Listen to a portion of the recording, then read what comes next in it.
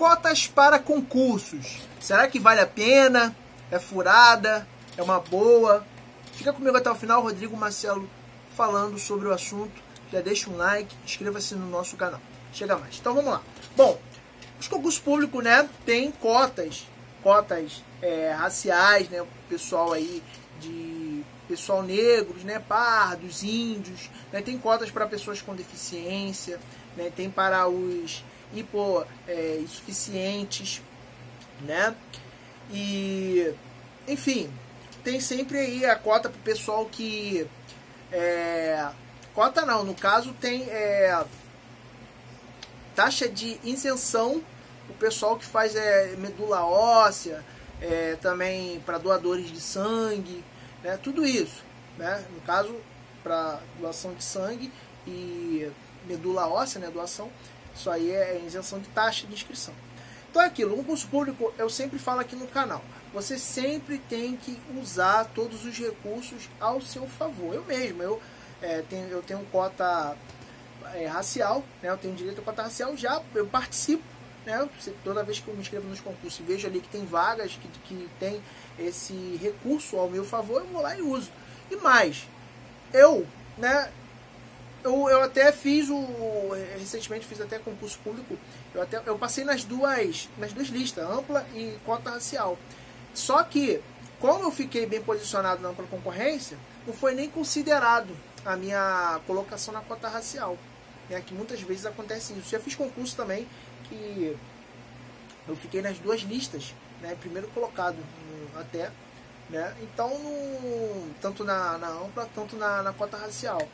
Então, para mim, não surtiu nem muito efeito até o momento, tá legal? Porque eu, como fico bem posicionado né, nos concursos, quando, geralmente quando estou lá com o status de aprovado. Beleza? Muita gente reclama, ah, quanto para negro tem que acabar, não sei o quê. Isso é um direito, isso é lei, isso está na lei. Concurso público é lei, não é que ah, reclama, B reclama povo reclama demais, né? Ah, cota racial, é isso, é aquilo. Mas no dia do exame de identificação, vejo um monte de gente lá, né, que gera mais de dúvida, né? Que se declararam que é negros, né, pardas, mas assim, no meu ponto de vista gera dúvidas, né? Mas não sou eu que avalio, faço avaliação.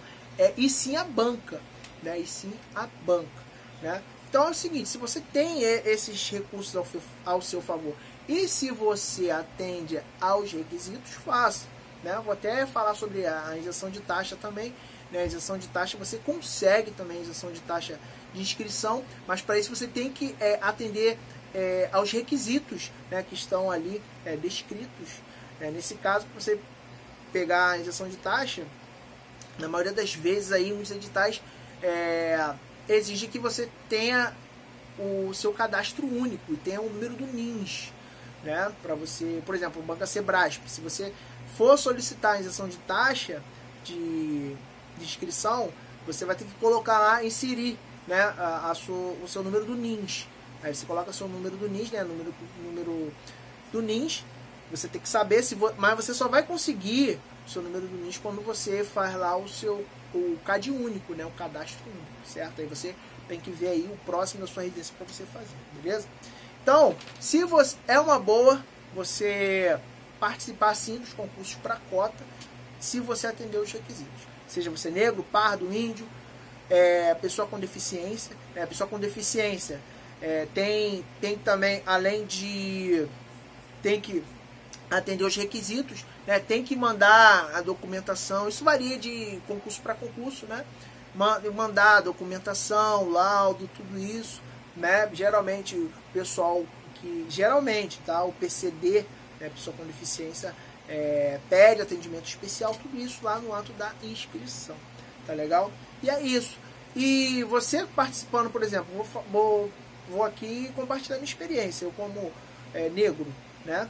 É, não tenho é, vergonha da, da minha, da, minha, raça. Eu tenho muito orgulho de ser negro.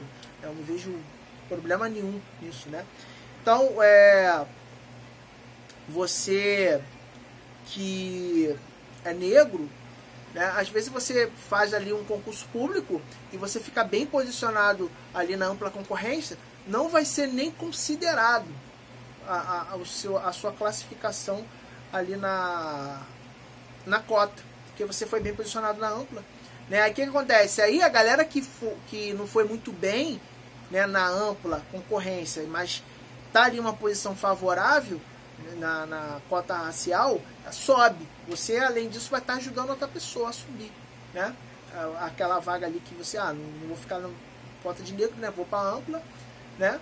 porque o negro concorre é, ao mesmo tempo, né?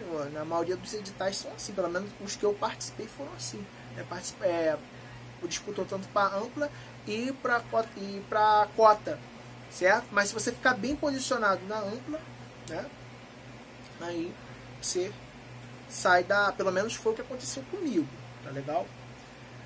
É, outra coisa que tem que tomar cuidado quando você for é, participar do concurso e for para cota, você tem concursos que no dia do exame de heteroidentificação, onde lá vão tirar sua foto, vão filmar você, você vai assinar documentos, vão pedir sua autorização, vão te entrevistar, você não pode faltar, porque tem concurso que, que, que você falta o exame de heteroidentificação, você é eliminado ou eliminado. Então tem que tomar cuidado quanto a isso.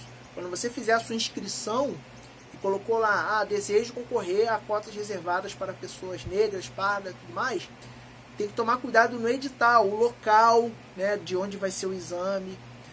Se reprova se você faltar, porque tem concursos que se você faltar o exame de heteroidentificação é eliminado. Então tem que tomar bastante cuidado com isso. Então pode marcar bobeira, tá legal? O exame de heteroidentificação é muito tranquilo, muito fácil, né? não tem mistério, é só levar a sua identidade né, e, e aguardar, ir ao local né, e fazer, vamos fazer entrevista, coisa rápida, menos de 5 minutos, coisa muito rápida, bem simples, sem, não tem nada burocrático, uma coisa tão difícil de bicho sete cabeças, bem tranquilo mesmo, né?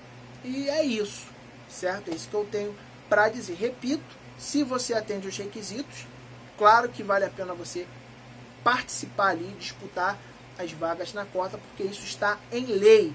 Isso está em lei. Participe sim. Não fique com essa de vergonha, não fique com essa com aquela preocupação, ah, cota, tá, todo mundo fala. Esqueça o mundo. Falar e faça o seu. Tá legal? Porque no dia do exame de identificação, vejo ali muitas pessoas que, ó, sei não, gera uma margem, certo? Eu acho que sim, é o seguinte, se a pessoa se, se declarou que é negra, que, que é parda, ela ela tem que ter a certeza de que é, né? Eu acredito que ela tem a certeza de que seja, né? Certo? Tem que ser, é, tem, tem que ser aparentemente. Não, não adianta você, ah, eu sou, sou filho de negro, né? Mas eu sou branco, né? Não rola, não rola, tá bom? Já, já participei de, de, de exame e lá a banca já até falou, você que é branco, mesmo sendo filho ou filha de. Você que é negro, né? Melhor dizendo, você que é negro você que é branco, você que é branco, e mesmo sendo filho ou filha de pais negros, não adianta. Tem que ser negro, tem que ter a pele negra ou parda. Não, não adianta, não tem que se discutir. Ah, sou branco, mas meu sangue é negro porque meu pai. Não, não rola. Não, não rola isso aí. Tá legal? Deixamos só esse alerta aqui. Tome muito cuidado quanto a isso aí. Bom, ó, vou ficando por aqui. Eu espero ter te ajudado. Bons estudos, boa prova. Até o próximo vídeo.